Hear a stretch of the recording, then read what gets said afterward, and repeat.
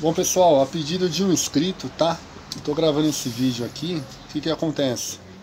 É um inscrito do, do canal é, me alegou que a, a, cinta dele, ao ele romper, ele tirar, ela travou, né? Ela travou.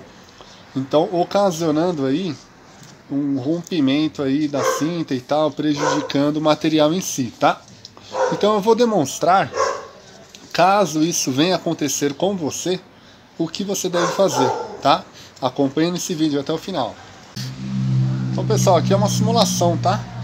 É, em alguns casos você vai apertar a catraca e você tende a apertar muito, fazendo com que a cinta venha se entrelaçar por muito tempo aqui no, no mecanismo, né? Ou seja, quando você Deixa eu soltar aqui. Quando você solta, ela ela trava. Ó, ela trava aqui, né? É claro que devemos puxar esse mecanismo aqui, né, de destravamento para a parte superior, pegar essa outra parte da cinta, né?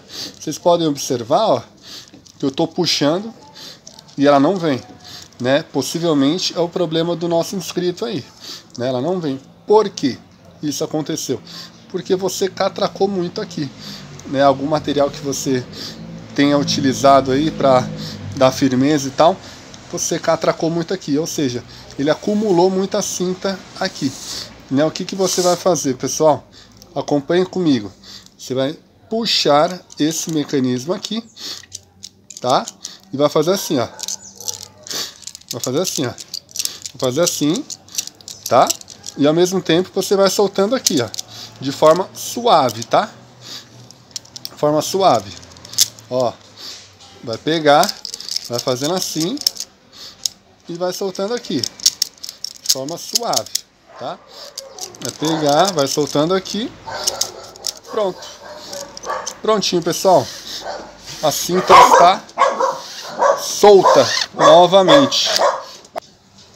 Certo, pessoal? Então deu para entender, né? A nossa cinta está aqui, tá? Então fazendo esse procedimento, tá? Para frente, para trás, para frente, para trás e soltando levemente, ela vai se romper, tá bom?